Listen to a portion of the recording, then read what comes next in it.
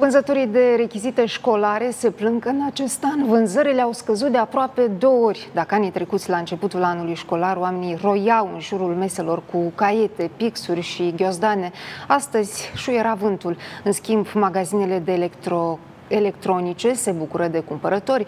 Managerii de vânzări susțin că odată cu implementarea sistemului de învățământ online, tot mai mulți elevi și studenți caută laptopuri, tablete și telefoane. De 11 ani, Maria Roșca vinde rechezite școlare în piața centrală din capitală. Femeia susține că au fost ani și mai răi și mai buni. În acest an însă vânzările au scăzut considerabil.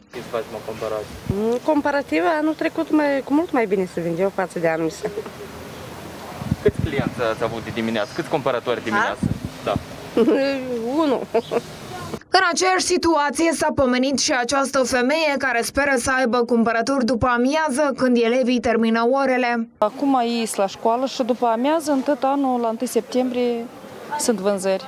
Zis și făcut după ce au fost la prima lecție, elevii însoțiți de părinți au dat o fugă la piață.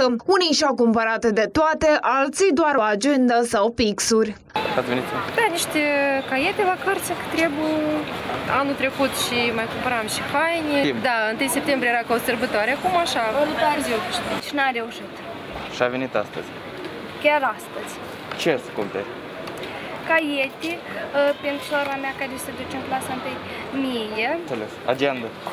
Agenda ne-am cumpărat. Învelitori. În viitor. Mulțumesc că ne-ați amintit. În schimb, odată cu implementarea sistemului de învățământ online, magazinele electronice se bucură de vânzări. Au crescut vânzările uh, la telefoane, laptopuri, uh, tablete. Uh, Cumpărătorii cei mai des sunt uh, părinții cu copiii, studenții.